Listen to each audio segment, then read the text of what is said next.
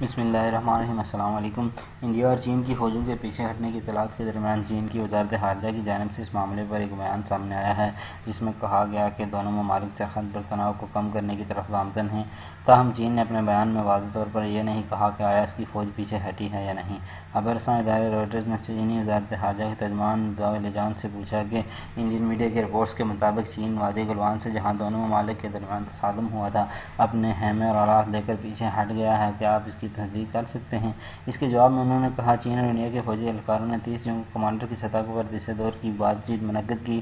دونوں فریقوں نے اس بات پر اتفاق کیا کہ ہم ان باتوں پر عمل درآمد کریں گے، جس پر گزشتہ دو روز کی کمانڈر سطح کی بات چیت میں اتفاق کیا گیا ہے۔ ہم نے سرحد پر کشیدگی کو کم کرنے کے لیے مؤثر اقدامات کیے ہیں۔ ہم امید کرتے ہیں کہ انڈیا اپنی طرف سے اتنے ہی فاصلے برقرار رکھے گا۔ دونوں ممالک کے مابین ہونے والے اتفاق پر عمل درآمد کے لیے سخت اقدامات کرے گا۔ چین کے ساتھ فوجی اور سفارتی چینل کے توسط سے رابطے میں رہے گا اور چین کے ساتھ سرحدی علاقوں میں تناؤ کو کم کرنے کے لیے کام کرتا رہے گا۔ روئٹرز کے مطابق سوموار کو لیے گئے اقدامات L A C per India اور چین کے مابین تناؤ کو کم کرنے کی راہ میں اہم تھے، لیکن اس کا فوج کی چوکسی اور ان کی تیاریوں اور لداخ کے پہاڑی علاقوں میں طویل عرصے سے کی جانے والی تیاریوں تیاریوں پر زیادہ اثر نہیں پڑے گا۔ ماہرین کا کہنا ہے کہ فوج کو سرحد کے نئی حقائق سے نمٹنے کے لیے تیار رہنا ہوگا، جہاں گزشتہ پانچ گزشتہ ماہ پانچ دہائیوں سے زیادہ کے عرصے بعد خون بہایا گیا تھا۔ اس کی سب سے بڑی وجہ دونوں فوجوں کے مابین شدید عدم اعتماد ہے، جو گزشتہ دو نو ہفتوں سے سرحد پر پیش آنے والے واقعات کی وجہ سے پیدا ہوا ہے۔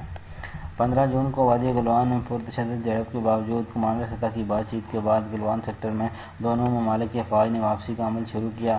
وادی گلوان میں ہونے والے تشدد کے زخم ابھی ابھی تازہ ہیں اور انہیں ٹھیک ہونے میں وقت لگے گا۔ کہا جا رہا ہے کہ دونوں ممالک کے مابین تناؤ کو کم کرنے کے عمل میں انڈیا دگنا احتیاط برت رہا ہے۔ اس کا مطلب یہ ہے کہ سارے عمل میں کافی وقت لگ سکتا ہے۔ روٹرز نے فوج کے ایک اعلیٰ حدار کے حوالے سے بتایا کہ کشیدگی والے علاقوں میں ابتدائی اقدامات کرنے میں ہی دو سے تین ہفتوں کا وقت لگ سکتا ہے۔ اس کے بعد ہی فوج کمانڈروں کے درمیان ملاقات ہوگی۔ اور اس کے بعد پھر اگلا قدم اٹھایا جائے گا۔ اس کا مطلب یہ ہے کہ اگر مہینوں تک نہیں تو فوج کی تعیناتی چند ہفتوں تک وہاں جاری رہے گی۔ فوج کو اس بات کی بھی تفتیش ہے کہ ابتدائی اقدامات کیے جانے کے باوجود جب تک چینی فوج ایل اے سی کی قریب بڑی تعداد میں موجود ہے تو چین کسی بھی وقت الٹی الٹی سمت میں چل سکتا ہے۔ لہٰذا انڈین فوج اپنی طرف سے ڈیل نہیں دکھائے گی اور نہ ہی وہ ان علاقوں سے فوجیوں کو کم کرنے کے بارے میں سوچے گی۔ فوج اور بڑے ہتھیاروں کو آستہ آستہ ہٹایا جائے گا اور وہ بھی اس بات کو مد نظر رکھتے ہوئے کہ دوسری طرف سے کتنی فوج یا اسلحہ ہٹایا جا رہا ہے۔ اتوار کو انڈیا قومی سلامتی مشیر اجیت دوول اور جی- چینی وزیر خارجہ وانگ بی کے مطابق بات چیت ہوئی۔ دونوں ممالک نے فوج کے انخلاء اور سرحد پر امن کے قیام پر اتفاق کیا تھا۔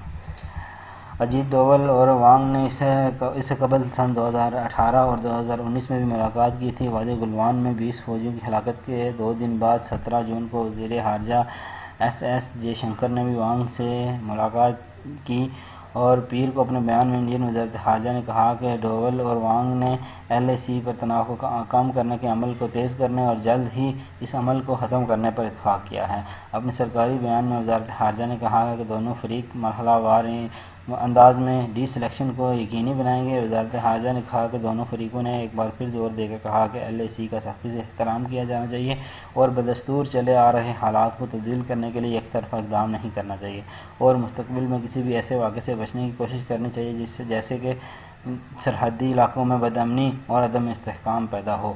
چینی وزارت خارجہ نے اپنے بیان میں کہا کہ دونوں فریقوں نے حالیہ فوجی اور سفارتی ملاقاتوں میں حاصل ہونے والی پیش وقت کا خیر مقدم کیا ہے۔ بات چیت اور مشاورت جاری رکھنے پر اتفاق کیا گیا ہے اور کمانڈر سطح پر قائم ہونے والے اتفاق کو یقینی بنانے کے لیے جلد اقدامات کرنے پر زور دیا گیا ہے۔